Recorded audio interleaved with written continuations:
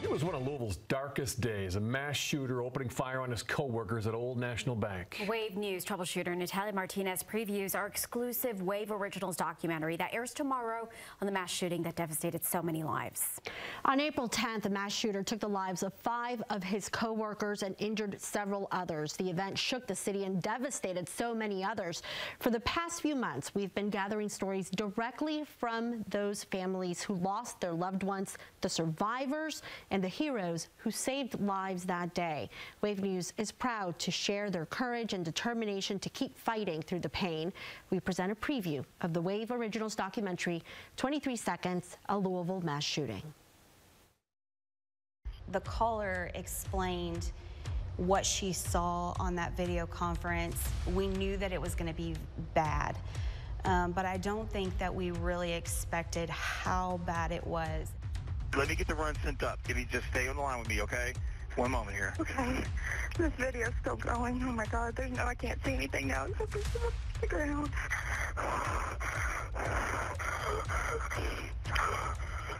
We had reports that indicated it could really be a, a really huge event. I could see this run come up, and I knew I had to get that run dispatched as soon as possible. Dispatcher said, can you go to the service channel? I need to put this out that piqued my curiosity because that rarely happens. And her voice, I'd never heard that before. We have shots fired, 333 East Main at the Old National Bank. We've all heard uh, active shooter before, and okay, you know, what, what is getting ready to happen? And they turn out to be what they call swatting calls or just bogus calls. Nothing really clicked to me, so the dispatcher says, I have another phone call from inside the bank, and there are four people down. So I'm gone. And the phones started lighting up. The, the board was turning red. Um, multiple people were calling in. There are only so many call takers on shift at a time.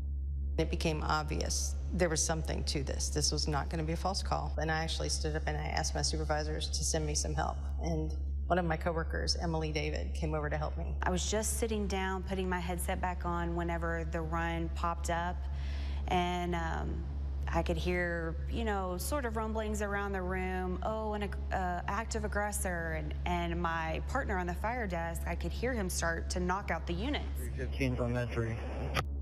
120 med three. 102 med three. Battalion 15 on med three. It was just absolute chaos on the air. You could you had all of the responders coming and you know there were lights flashing in the room and you know people yelling back and forth and the phones were ringing. That sense of panic almost and and uh, but you have to turn that into what can I do to help Our documentary film premieres tomorrow at 7 p.m. on Wave, and you can also live stream the broadcast or watch it later on wave3.com. Just look for the Wave Originals tab. Natalia Martinez, Wave News.